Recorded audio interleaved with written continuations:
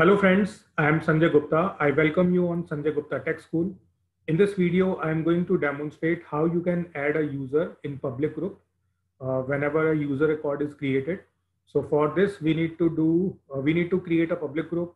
Then we will be creating a record triggered flow and then we will create a user. So before starting, if you want to watch all videos related to Salesforce, so you can uh, visit this website, studysalesforce.com. So I placed all videos created by me on this website so you can find them together. Now starting my demonstration. So first of all, I'm going to create a public group. Clicking, clicking on new. So naming it as my group. Right, and I'm clicking on save. So right now I'm not assigning any user to this group. So if I open this group, public group, so you can see here no member is available, right? So now my requirement is whenever I create a user record, so that user will be automatically added to this group.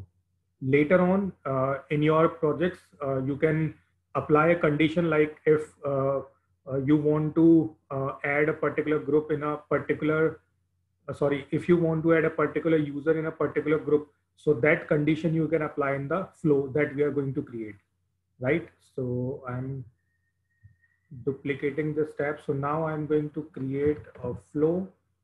So I'm searching for flows, clicking on new flow. So I'm going to select record triggered flow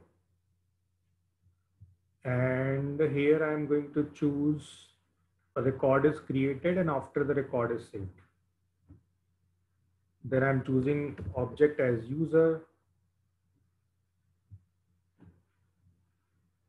Clicking on done.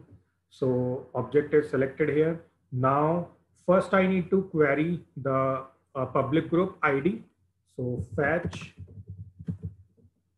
public group here you need to search the object as group.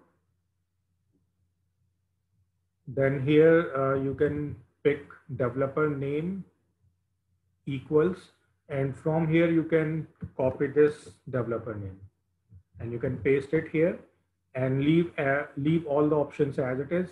So uh, through this we uh, fetch the public group details. Now we need to create a record so here we can write add user to public group. Then uh, select this option so that we can choose an object. So here search for group member. Here we need to populate these two fields. First is group ID and second is user ID. So group ID we can have from here.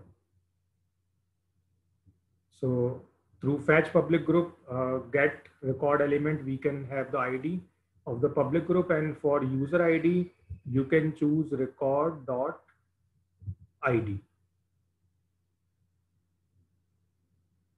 right so this way both uh, fields are populated. Now i'm clicking on done connecting this clicking on save add user to a public group. So this is the name of the flow, clicking on save.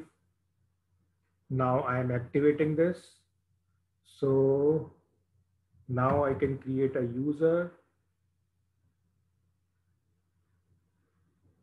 So clicking on new user.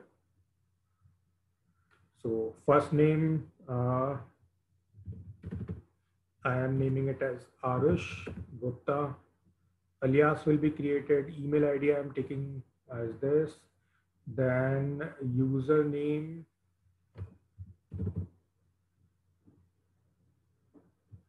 then here license i'm selecting force.com free user because this is a demo and i already used both salesforce licenses. So now i'm clicking on save. So this user is created. Now moving to this public group and I'm refreshing this.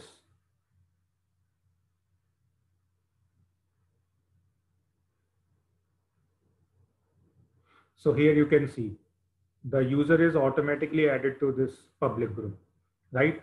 So this way, with the help of this uh, record triggered flow, we can add a user upon creation of a user record uh, to the public group. And if you want, like uh, this uh, user will be added on uh, record updation as well.